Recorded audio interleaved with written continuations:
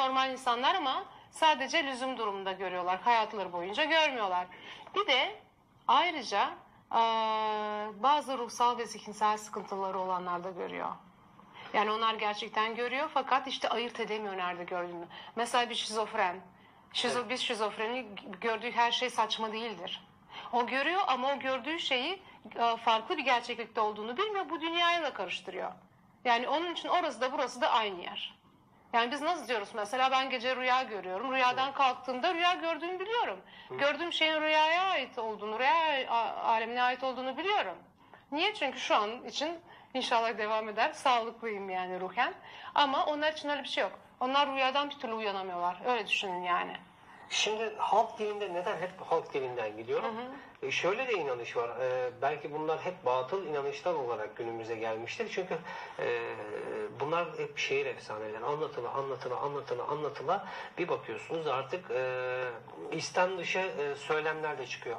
Aman diyor e, sakın o üç harfli kelimeyi söyleme gelir. He. İşte şurada insan pisliği var. Buraya basma sakın orada onlar olurlar. E, sakın ha oradan geçme veya işte şuradan geçme. E, tırnaklarını kesip gece atma. Evet. e, Tükürme. Şuraya idrarını yapma. Buraya bilmem neyini kaçırma gibi e, böyle inanışlar var. Şimdi bunlar hep halk dilinde konuşuluyor. Dolayısıyla en baba inanış şu. e, sakın e, adlarını söyleme cin cin cin cin cin dersen gelir ha. Aman çarpar ha gibi Evet, evet. böyle e, konuşuluyor ve Tabii bu, bu yanlış bir şey. korkuluyor tabii Evet. insanlar Aha. korkuyor. Ya bir kere e, çoğu şey niyetli oluyor yani. Niyetin önemini ben bütün herkese zaten anlatmaya çalışıyorum.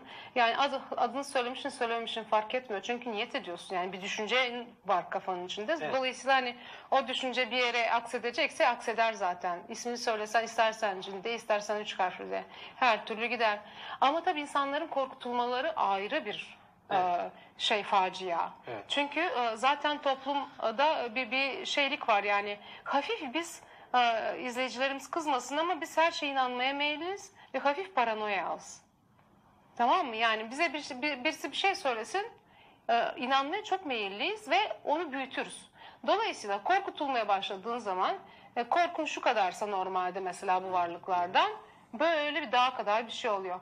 Şimdi cinler nasıl müdahil oluyorlar diyeceğim insanlara ben ama bu soruyla alakalı da şimdi ben yönetmeninden rica edeceğim efendim. Ee, Afyon'da yanan evle ilgili görüntülerimiz var. Onları bir ekrana getirirlerse ben çok teşekkür edeceğim kendilerine, rica edeceğim. Ee, o görüntüler üzerinden biz hareket edelim. Çünkü e, siz e, oradaki o vakayla yaşayanlarla görüştünüz bile Evet değil. evet birkaç gündür görüşüyoruz onlarla. Hala da görüşüyorsunuz Tabii, tabii. yani. Ee, Afyon'da neler oldu? Yani o yanan evde e, cinler mi yakıyor o ateşleri? E, işte bu varlıklar mı sebep oluyor? Bu insanlara nasıl müdahale oluyor? Şimdi ekrana geldi. Mesela işte evdeki bazı eşyaların yanmış olduğu görülüyor. Baya baya yanlış. Evet. Şimdi önce şu, şunu da bir anlaşalım. Bu varlıkların, bedensiz varlıkların bedeni yok. Hı hı, hı. İsmi üzerinde bedensiz. Dolayısıyla bedensiz bir varlık bu ateşi nasıl tutuşturacak? Kendi kendine tutuşturamaz. İşte onun için aracılar var hep. Baktığınızda bir olay çıkıyorsa orada mutlaka bir insan vardır. O insan sayesinde bir şeyler olur ya da olmaz. Mesela giysiler şu anda yanık vaziyette ben görüyorum. Evet bu en son çektikleri şey. Şu anda hiçbir şey yanmıyor orada. Çünkü eee, kadın şu anda 24 saat gözetimde. Aile nöbetleşe sürekli onu gözlemliyorlar. Kadın dediğim hamile bir bayan var şu an 10 haftalık hamile kendisi. Ve zaten bu olaylarda onun hamileliğin başlanması, başlangıcıyla örtüşüyor. Tamam. Dolayısıyla öncelikle 2-3 defa 2-3 defa e, İstanbul'da bir hoca ismini söylemeyelim isterseniz. Bir hocaya gitmişler ve bu e, hoca e, kendisine bir cin olduğunu söylemiş ve güya onu çıkartmış. Fakat e, aynı zamanda psikoloğa yönlendirmiş. Aynı zamanda bakın. Ve psikolog, psikoloğa gitmişler. Kendi bir tanıdığı psikoloğu varmış. Yani tebrik edelim bir taraftan da. E, Fakat psikolog kadını konuşturamamış. Ondan sonra e, özel bir hastaneye gitmişler. Orada da e, psikiyatriyle görüşmüşler. Fakat kadın hamile olduğu için tabii ki biraz çekiniyorlar doğal olarak. Ondan sonra geri dönüyorlar. E, geri döndüklerinde zaten e, her şey alev almaya başlıyor. e, Kendiliğinden mi? Kendiliğinden olduğu iddia ediliyor. Fakat ben konuştum. Dedim ki, dedim ki, ekranda. dedim ki, bakın 16 Eylül'den beri yanıyormuş sağ sol. Evet. Yani yaklaşık ne kadar yapıyor? İki aya yakın olacak. ay yakın. Dedim iki ay içinde dedim neden bir kamera koymadınız ki işin özünü hemen anlardık. Dediler ki biz bunu tercih etmedik. Niye? E çünkü biz duyduk bu cinler işte kişi farkına varmadan eline çakmak veriyorlarmış. Dolayısıyla aslında e, olay çok belli ve sonra o hoca oraya gitti ve e, galiba e, güzelce bir telkin etti. Yani bir daha yakalarsam falan ismini söyleyeceğim tarzında bir konuşma var orada. Evet. Ve o günden beri e, ev tutuşmasın diye kadını e, bütün ailesi nöbetleşe izliyor. Fakat olaylar bitmemiş ve hocalarla hala görüşüyorlar. Ondan sonra bir sürü daha hocaya gitmişler. O hocalar da birisi demiş ki size bilmem ne büyüsü yaptılar. Ötekisi demiş ki sizde bilmem ne cinleri var. Onu demişler, bunu demişler. Bunlar iyice korkmaya başlamışlar. E, sonuç itibariyle e, yangın evet durmuş ama kadının psikolojisi bitik. Çünkü e, sürekli korkuyor ve sürekli baygınlık geçiriyor. Başka takıntılar. Tabii özellikle el yüz yıkama çok önemli. Çünkü burada bir temizlik şey oluyor. Hmm. Temiz değilim. Ee, Onun da altında başka şeyler var tabii. Çevreye karşı soyutlanma, konuşmama, içine kapanma. Evet. Birçok belirtisiz var işte. Aa, yazmışım da yazmışım. 19 tane Evet, evet. yazmışım. Cildin matlaşması, gözlerin ifadesiz ve donuk bakışlarla e, yaşama sevincinin yitirilmesi. Yani o gözlerdeki parıldama ben öyle Tabii, izah edeyim. O tabii. yok gidiyor. Parıldı gidiyor. Aha. Yaşam Bak, hali kişi tabii matlaşıyor yani. Hmm. Evet. Bende o var mı? Yok. Sizde hiç yok. Teşekkür ederim. Yaratıcı enerjinin azalması sonucunda üretkenliğin düşmesi, cinsel isteksizlik, çalışma isteksizliği. Bakın sosyal hayatı tümden etkiledi. Tabii bütün hayatını etkiler insanın Hepsini yani. etkiledi. Tabii. Yani problemler artıyor, gitgide artıyor. Evet. Panik atak ve benzeri diğer ruhsal hastalıklar, Evet. e, psikomatik rahatsızlıklar ve artık şizofreniye gidiyor olay. Tabii. Git yani.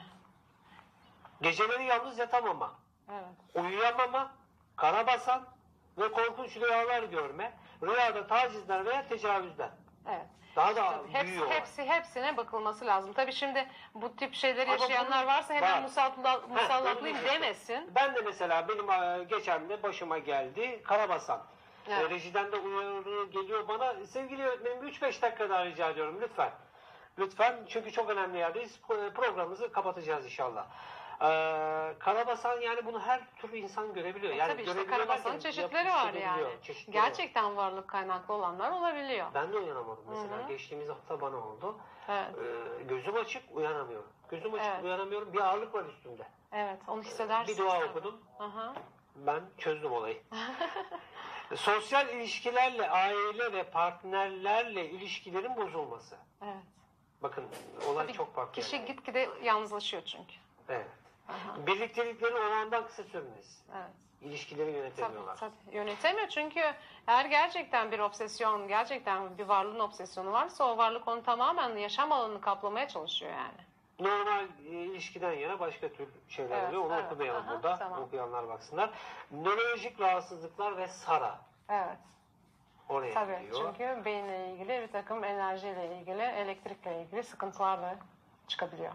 Aile ve yakın çevrenin e, işlerinde aksamalar, hastalıklarda artış yaşanması. Aileyi de etkileme başladı. Ama diyorum ya yani biz aileyle çok iç içeyiz yani. Bizi etkileyen bir şeylerin mutlaka ucu aileye de dayanıyor. Çocuğumuza, babamıza, annemize, kim varsa etrafımızda, eşimize. Negatif varlıkları bizzat görme. Hı hı.